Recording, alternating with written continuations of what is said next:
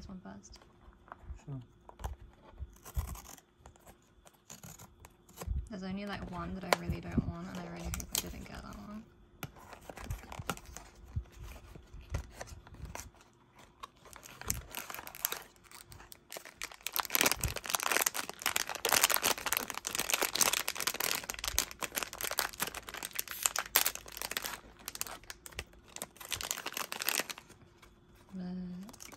Think that's one of, I think it's Morticia.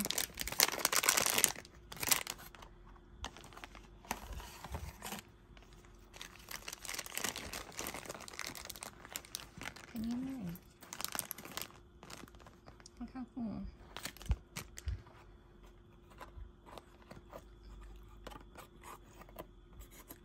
I love that box. I know.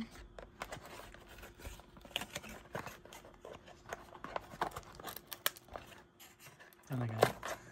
Oh my god, please. Because you're meant to tear it here. Uh, kind of shame, isn't it? I guess they have to be sealed. And, Yeah. Yeah, because otherwise if you can somehow peek inside them in the shop, then yeah. I can't get this one open. Oh my god. Oh, Jesus. Oh, the glue.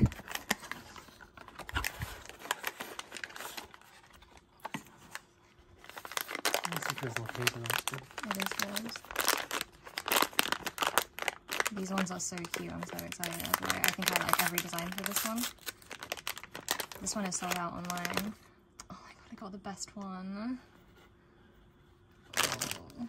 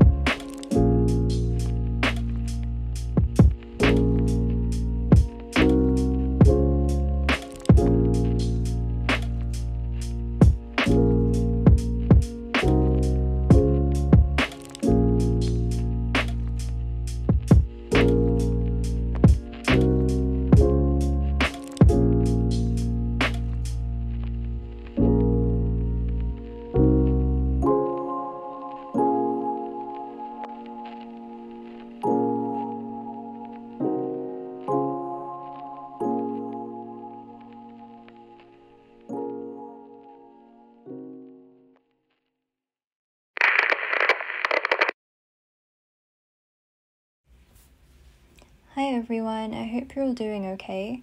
Um, I just wanted to come and talk to you for a bit to help break up, I guess, some of the rest of the footage.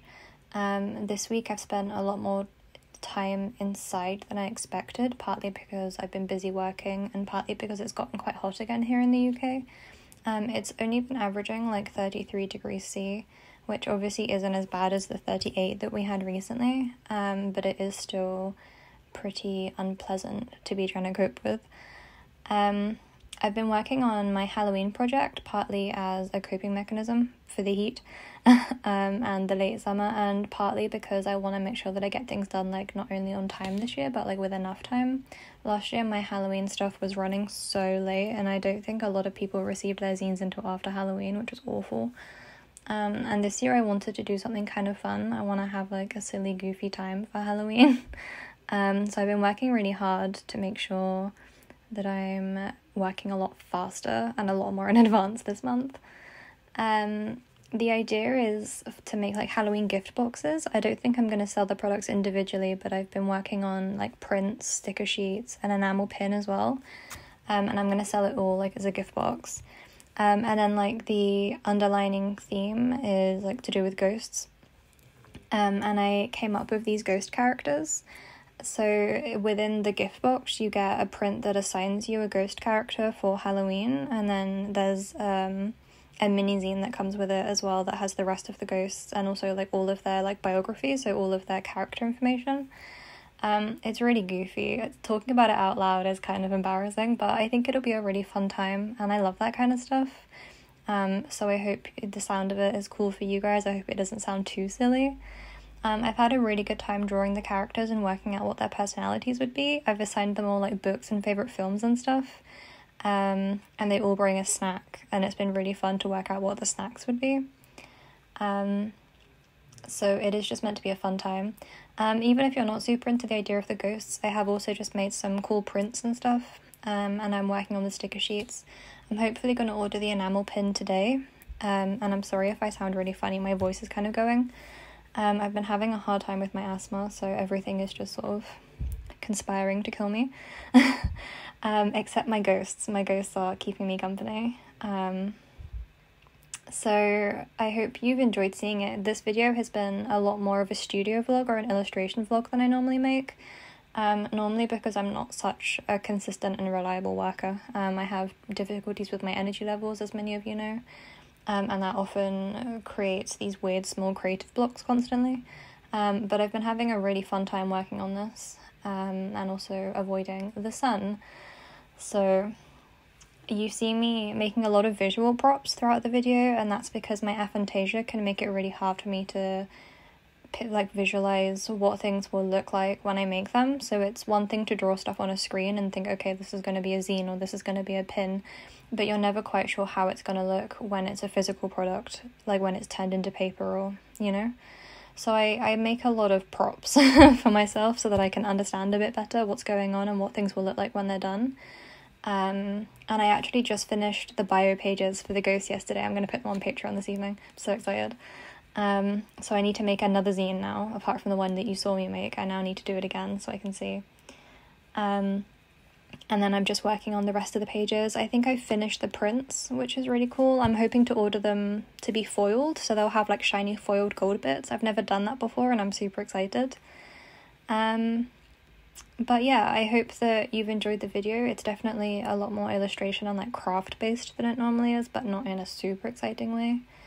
Um, to be honest, I've been caving early the last couple of days because my attic room is getting so hot. Um, I'm just gonna film this audio and then I'm gonna ditch for the day as well. Um, I'm gonna read my book downstairs. To be honest, it's just it's really hot. Um, but I hope you like the idea of the ghost. Let me know in the comments if you're excited about the ghost and Halloween.